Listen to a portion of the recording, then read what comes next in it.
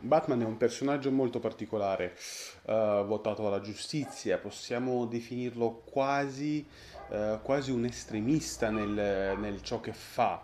Uh, ed è chiaro che, visto che è un eroe americano, spesso e volentieri viene disegnato e scritto dai autori statunitensi.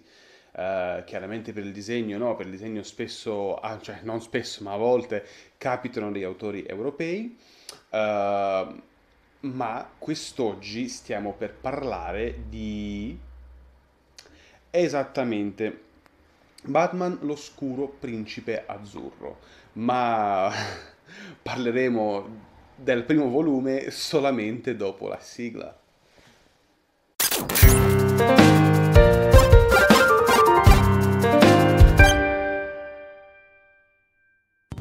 Come stavo dicendo, Batman eh, l'oscuro principe azzurro è un volume europeo.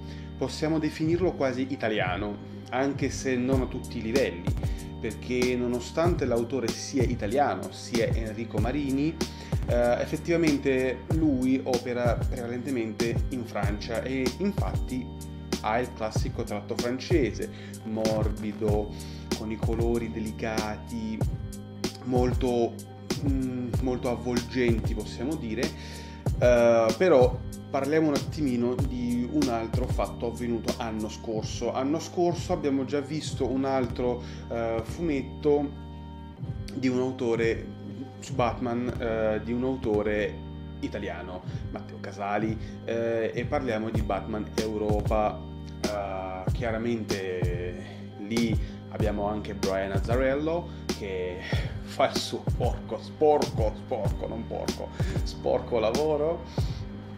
Eh, in questo caso invece abbiamo solamente Enrico Marini. Eh, Enrico Marini che comunque sia se la cava benissimo sia nella scrittura sia nel disegno. Ma di cosa parla Batman? L'oscuro principe azzurro. Allora, iniziamo col dire che eh, è il compleanno di Harley Quinn. Joker le promette chiaramente un gioiello, come è giusto che sia, no? Um, ma non ce la fa perché Batman lo ferma.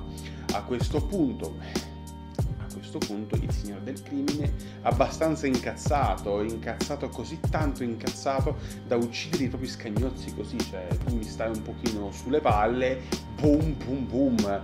E, io mi chiedo cosa farà quando non ci saranno più i criminali a Gotham? Eh, veramente. Joker è, è un pazzo furioso, è fuori di testa completamente.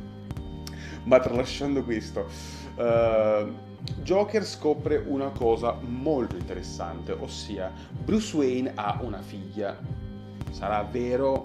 Non lo sappiamo. Comunque, Bruce Wayne ha una figlia e chiaramente il signore del crimine cosa fa? Gli mancano i soldi. Decide di rapire la figlia di Bruce Wayne. Nel, nel frattempo Batman, che è Bruce Wayne chiaramente, scopre qualcosa, scopre qualcosa su questa bambina e gli si accende quella lampadina alla bene ti spezzo la schiena, ti spezzo quella maledettissima schiena, come disse.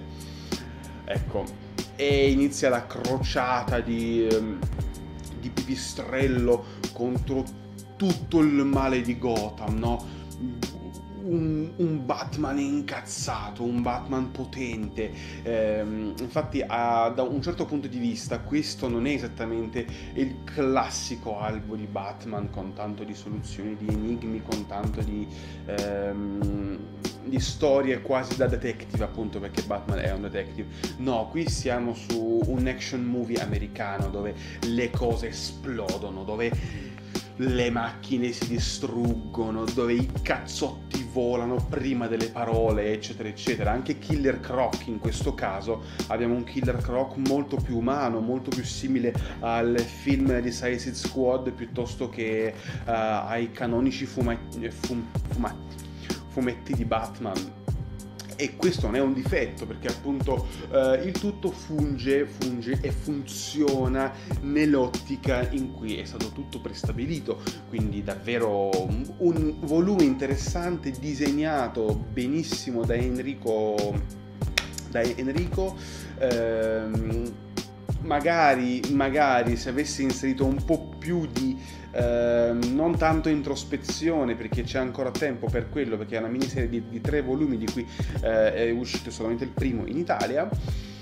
Eh, ecco se ci fosse più tempo per l'introspezione e non solo anche per ehm, per fare il detective sarebbe un po' più interessante. Qui invece sembra un po' un film alla Bud Spencer, oppure uh, mi ricordo l'anno scorso lessi un fumetto di cui non rammento il nome, ecco lì c'era un detective.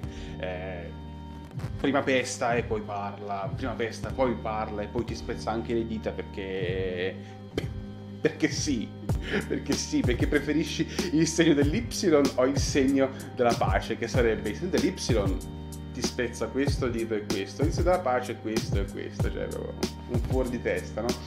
Ecco, qui Batman assomiglia un po' a questi tipi di, di detective un po' malvagi, un po', un po' cattivoni, così per dire. Però si tratta di un volume veramente meritevole, eh, brava R.V. Lion eh, che mm, ha prodotto questo, cioè che ha prodotto, che ha pubblicato in Italia questo volume, molto meglio leggere questo che Notti Oscure Metallo.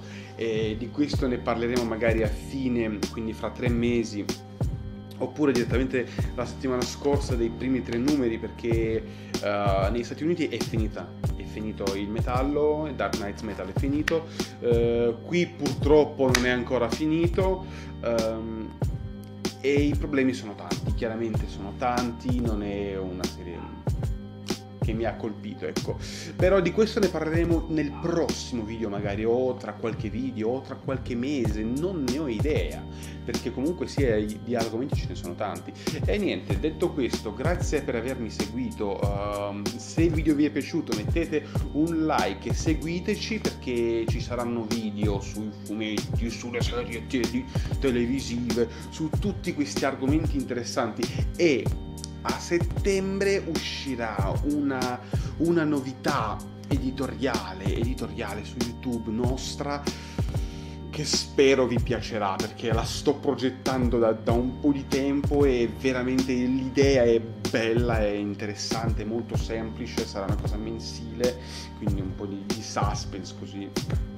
E niente, grazie per, per averci seguito, like, condividete a manetta e commentate chiaramente commentate se mm, il video vi è, vi è piaciuto e se il fumetto vi è piaciuto. Detto questo, grazie mille e a presto.